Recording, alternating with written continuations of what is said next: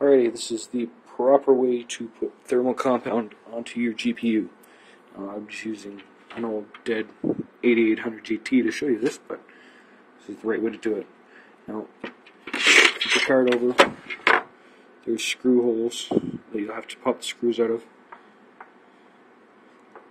And once you do that, you can gently pry your card apart. And you up with this. Now, that'll be covered in goo white, gray, depends on what the manufacturer used.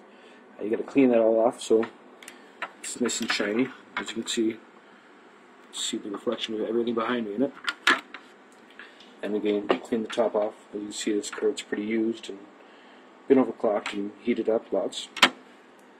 So, next, you need your thermal paste. This is just uh, a Stars thermal compound. I got it for um, it was three dollars for ten tubes off Deal Extreme. I'll post a link in the, in the comments page. But all you need is a little tiny dab. That's even too much.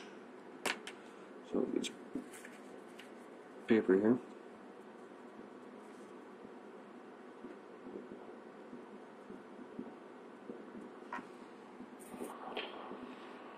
That is all you need. I will show you how well it spreads out across the, the GPU in a second here. So, uh, set the camera down for a second.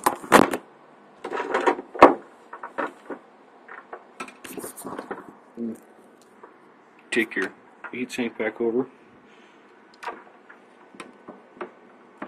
Put it down so that it sits on it. a little bit of a move around to transfer that evenly. Flip back over, put your screws back in, the holes, and that'll apply pressure that I'm applying right now.